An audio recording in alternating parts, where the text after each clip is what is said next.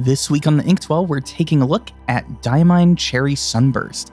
This is one of Diamine's new Gibson Les Paul guitar inks, based off of five of the colors from the rather infamous Gibson Les Paul. For this review, I used my Carolina Pen Company Charleston model in the primary manipulation uh, acrylic done by Jonathan Brooks.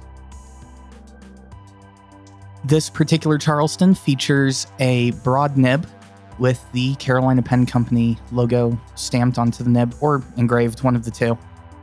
And as you can see, I've used quite a bit of this ink before doing the writing sample. This is actually my second or third converter with this ink. So it's gotten quite a bit of use, and I must say, I'm quite impressed.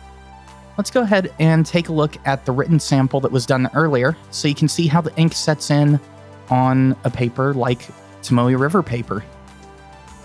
Once again, using our Endless Works Tomoe River paper notebook from Pen Chalet.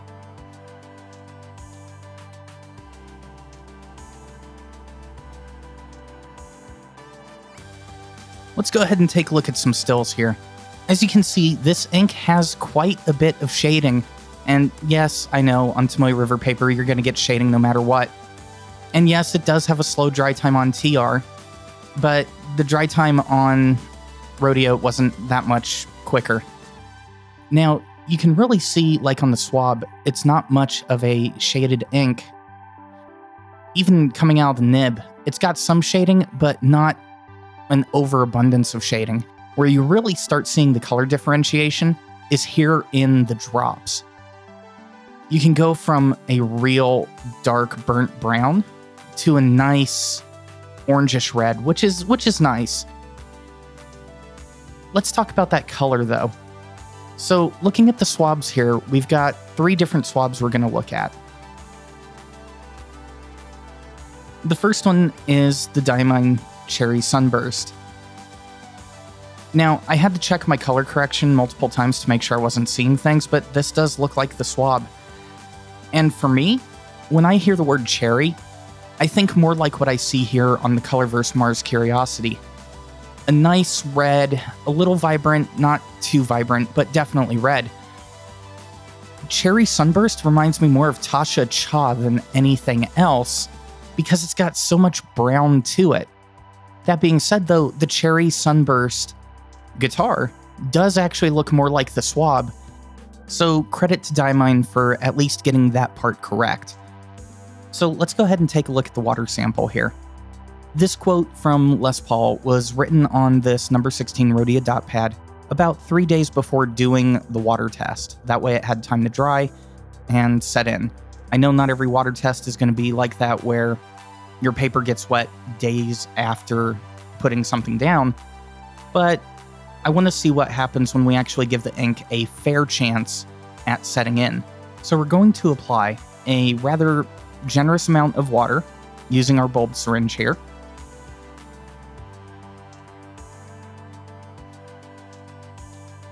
And then once we've got enough standing water to ruin the next three pages in the pad behind the writing sample, let's go ahead and grab a Q-tip and apply some pressure to see how much of the ink we can get to release from the paper itself.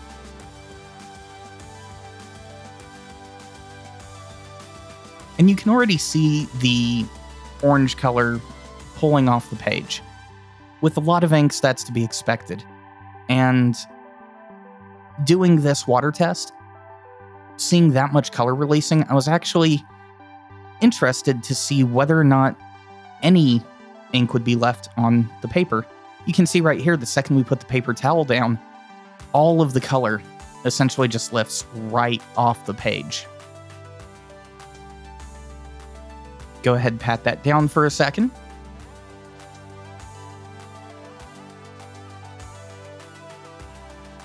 And then give it a couple wipe downs to make sure we got everything off. And let's go ahead and take a look at the before and after of the writing sample. So before you've got your good shading, nice orange, a little bit of red, and after the water sample, you can still see some of that color on the page, as well as a gray ghost image. So, where does that put my final thoughts on Diamine Cherry Sunburst? I'm going to be upfront. I'm not normally a big fan of red or orange inks, or brown inks for that matter, but this one is actually a good ink that's going to stay around in my collection. I like the color, I like the water resistance, and I love the flow from this ink. Diamine actually has some really good flowing inks that you should check out. I think the guitar inks are really cool and a great concept. So head on over to Pen Chalet and take a look at these inks. You can see here 30 mil for 750 is an insanely good price. And the big brother for that 30 mil bottle is an 80 mil bottle for only $15. And on top of that, if you click on that radio podcast link at the top of the page here and then enter Inked Well in the How You Heard About Us section, you can get a further 10% off of that, as well as getting free shipping on any orders over $50. So it kind of makes that a no brainer for at least giving this ink a try.